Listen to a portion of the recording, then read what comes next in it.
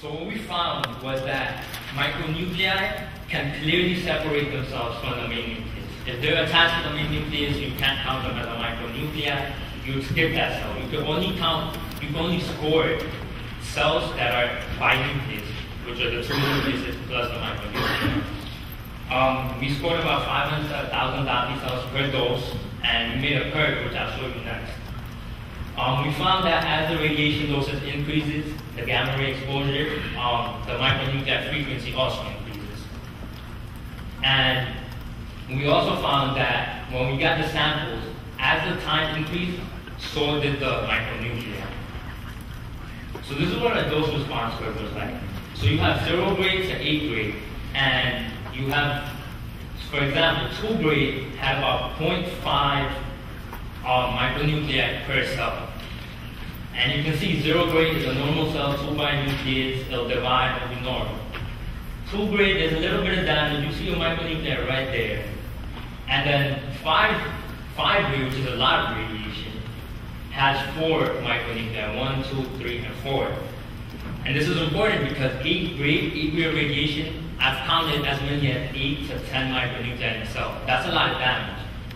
And it, for the most part, it linearly goes up, except for sixth and seventh grade, which we're thinking is because when cells are damaged at the rate of seventh grade, sometimes cells just, instead of repairing themselves, they'll say, okay, let's go, um, let's go through the process of apoptosis, which is cell death, and replace it with a new cell. So that's probably why. But then the damage at 8 grade is so much that all your cells are damaged. So it's pretty much like you're still going to see the damage even if the cells go through apoptosis and new cells are formed. Um, this is what we found in three of our patients who are confidential, so we just gave them numbers.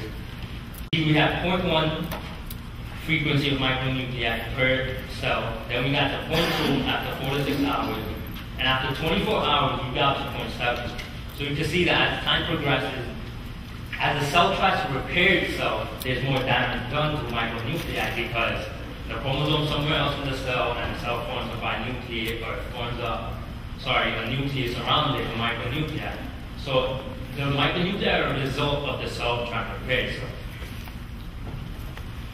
Um, this is how we how we get the data for the cells, which is not really important to you guys, but it's pretty much like, for example, patient one is 30 years old, is a male, non-smoker, which we have to take into account. And chemotherapy, exactly how much, the dosage, and the last day. Because if chemo is done, that's on a Tuesday, and the Wednesday you give them radi- radiotherapy, you're not going to be able to analyze those cells. Those cells are going to be so degraded in the microscope that you will not be able to see the perfect two nucleuses that you're seeing. This will be like, you'll see like half of it because the cell hasn't been able to repair itself.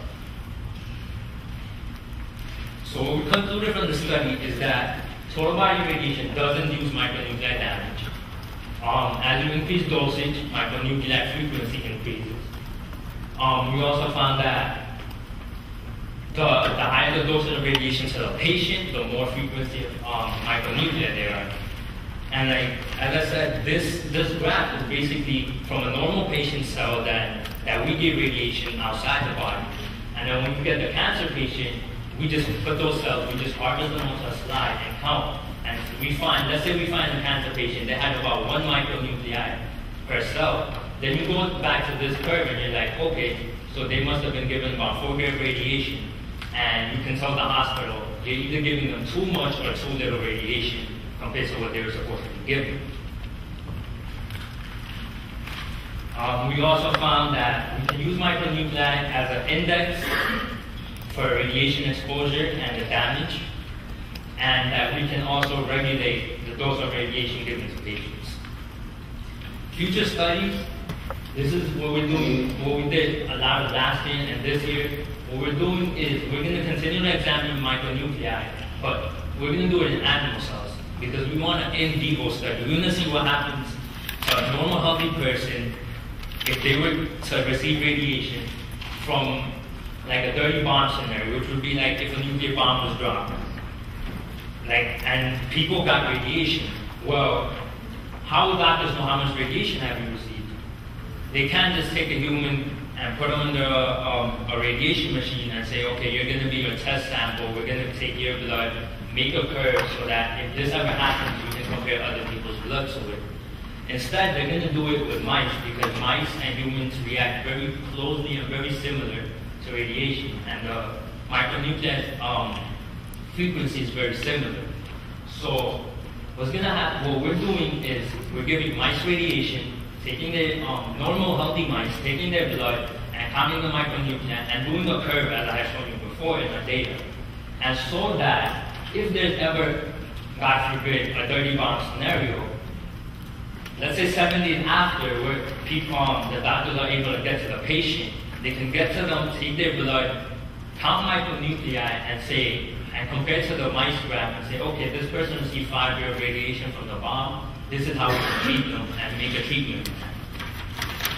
Moving on from that, the chromosome, the chromosomes that I showed you is through a uh, metasystem software that captures the um, um, the pictures we're developing that software to automatically count micronuclei so that we don't have to do it. Because even though micronuclei are faster, we still have to sit on the microscope for two, three, for a year, maybe two, three months a year, and just count. And when you're in the microscope, when you're sitting on the microscope every day, it, it gets fatiguing.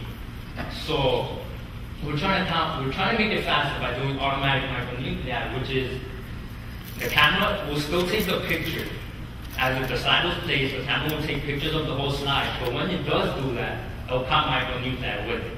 It'll count the micronuclei on that certain picture. Since it's supposed to be um, random, random pictures, so they just it will count.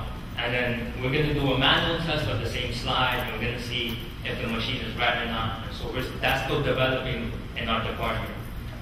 And lastly, what we're going to do is test patients with partial body radiotherapy.